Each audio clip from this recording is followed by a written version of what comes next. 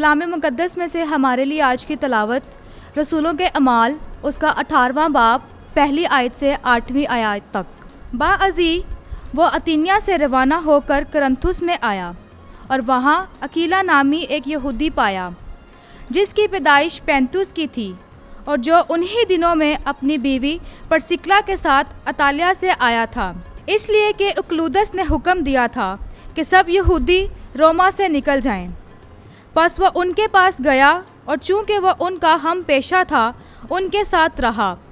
और वो काम करने लगे, क्योंकि उनका पेशा खेमा दोजी था और वो हर सबत को इबादत खाना में बहस करता और यहूदियों और यूनानियों को कायल करता था। जब सिलास और तमाताउस मकदूनिया से आए तब पालूस और ज़्यादा सरगर्मी से कलाम सुनाकर यहूदियों के सामने गवाही देता रहा कि यसु ही अल मसीह है।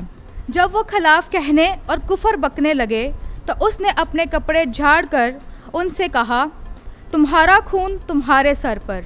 मैं पाक हूँ, अब से गैर कौमों की तरफ़ जाऊँगा।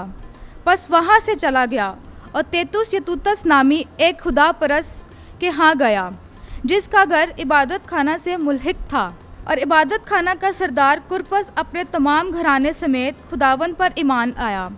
और बहुत से ग्रंथी सुनकर ईमान लाए और बपतिस्मा पाया। पाकलाम के पढ़े और सुने जाने पर खुदावन की बरकत हो खुदावन का शुक्र हो।